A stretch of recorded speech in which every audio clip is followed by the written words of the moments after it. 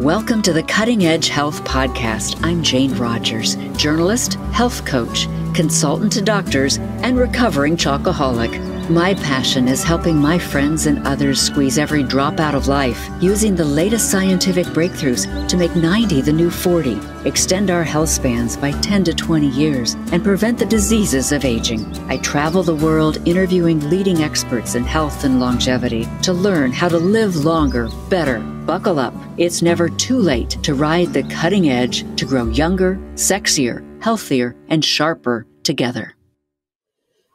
My guest on this episode is Dr. Richard Restak.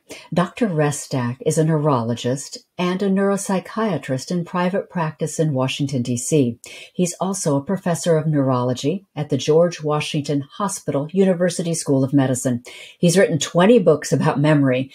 His most recent is The Complete Guide to Memory The Science of Strengthening Your Mind. And I read an awful lot. I read about two or three books a week.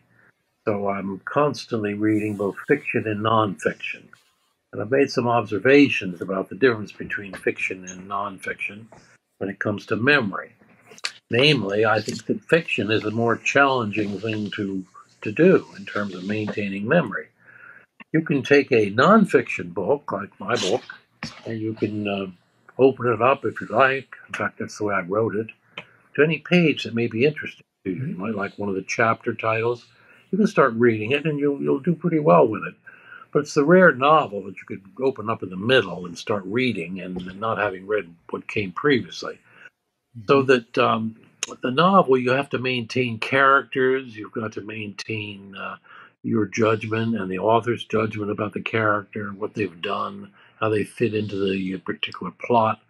And that's difficult. That, that's a very demanding thing. So I always noticed that the two things that often turn up when people are starting to have dementia or mild cognitive impairment is that they switch their reading to almost all nonfiction.